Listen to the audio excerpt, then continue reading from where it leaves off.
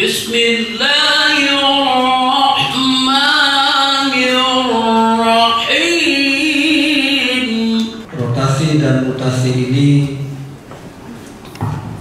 sebagaimana yang saya sempa- sampaikan tadi ini memang eh, kehendak dari semua organisasi yang saat-saat tertentu kita harus melakukan rotasi ataupun mutasi yang di sana juga eh, akan memunculkan semangat ataupun eh, semangat baru dalam bekerja artinya rotasi ini juga bahagian dari penyegaran sehingga di tempat tugas yang baru kita berharap ada semangat baru untuk uh, bisa bekerja dengan lebih baik. Di samping itu juga kita berharap di tempat kerja yang baru itu akan melahirkan produktivitas ataupun inovasi baru uh, terhadap tugas-tugas yang akan dilakukan.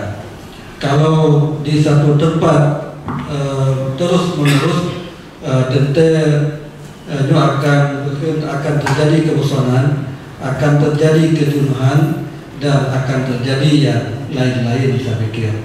Makanya rotasi dan rotasi ini harus uh, harus uh, kita pahami bahwa ini untuk penyegaran dan untuk menghilangkan uh, kejenuhan. Saya pikir kita manusia ini sehebat apa pun pada saat-saat tertentu, pada tempat-tempat tertentu itu juga akan mengalami kejenuhan.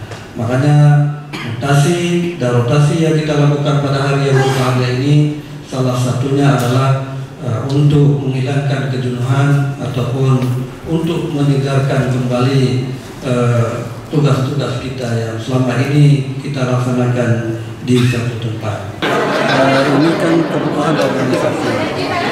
Eh, ada pejabat-pejabat kita yang eh, sudah lama di satu yang secara aturan memang harus kita lakukan rotasi. Yang kedua ada kekosongan beberapa betul juga sehingga harus kita isi.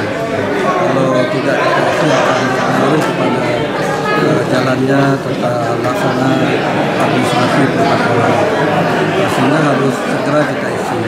Kemudian yang ketiga, rotasi dan mutasi ini adalah persoalan biasa Eh, dan salah satunya adalah untuk eh, menghilangkan kejenuhan di satu tempat sehingga kita berharap di tempat yang baru itu akan ada semangat baru dan inovasi baru untuk bekerja lebih baik. Berapa orang semuanya?